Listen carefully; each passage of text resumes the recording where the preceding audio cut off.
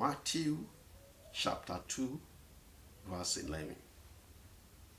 And when they come into the house, they saw the young child with Mary his mother, and fell down and worshipped him.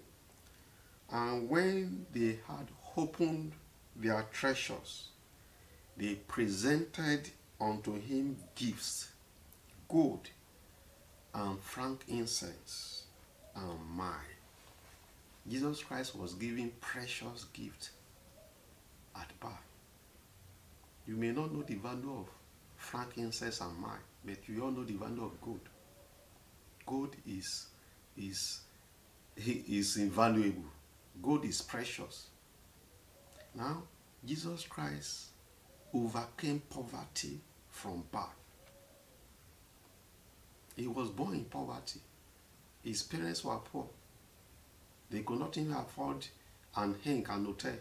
He was born with goats, where goats and sheep were sleeping.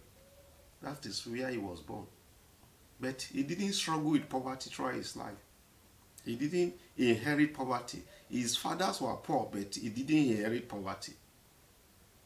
He was given gold from birth, and I'm sure that cancelled every poverty in his life and his generation. I pray for you today, the poverty of your father's house, you shall not inherit it in Jesus' mighty name. You are redeemed from the poverty of your father's house. Don't your, your life, your case is different. Because you have been redeemed of God, because you are grafted to the blood of Jesus Christ. The circle of poverty in your family shall not be recycled over you. The, the blessing, Jesus Christ was just giving one blessing that eradicated poverty in his life.